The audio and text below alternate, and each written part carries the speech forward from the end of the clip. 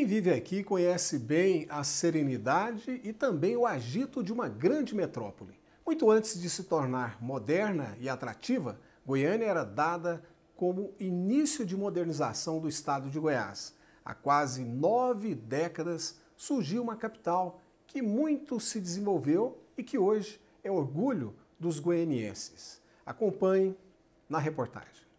Antes mesmo de Goiânia se tornar capital, vários foram os momentos para esta transformação. Momento que só se concretizou com a política de Getúlio Vargas, com a interiorização do Brasil. A sua construção se deu pelo projeto Marcha para o Oeste. Pedro Ludovico Teixeira, nomeado interventor de Goiás, estabeleceu sentido de renovação colocou em prática um projeto de mudança.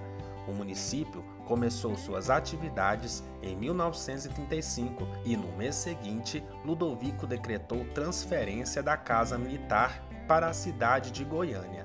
Em 1937, oficializava definitivamente a transferência da capital da cidade de Goiás para Goiânia. O doutor Pedro tinha vindo aqui, tinha olhar, montado naquele cavalo, tinha é, muito amigo, já amigo do, do Licardinho de Oliveira que era prefeito de Campinas e tal. Então, é interessante que quando ele pegou a comissão julgadora, é, é que escolheu o local, escolheram Bonfim. E quando deu, foi lá, tinha estrada de ferro, aqui não tinha, não tinha possibilidade. Mas o doutor Pedro, quando veio, leu, leu tal, e falou muito, ótimo, ótimo. Só aquele lugar que vocês puseram Bonfim, risca aqui e põe em Campinas.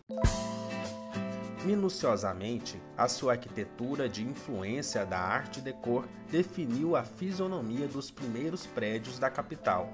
Curioso também é o nome vencedor que seria escolhido, Petrônia, homenagem ao fundador da cidade, Pedro Ludovico, mas foi rejeitado pelo próprio homenageado.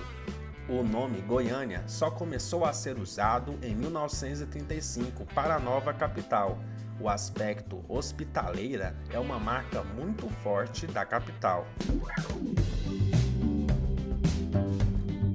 Goiânia chega aos 86 anos com aspecto moderno e uma das mais belas capitais do território brasileiro.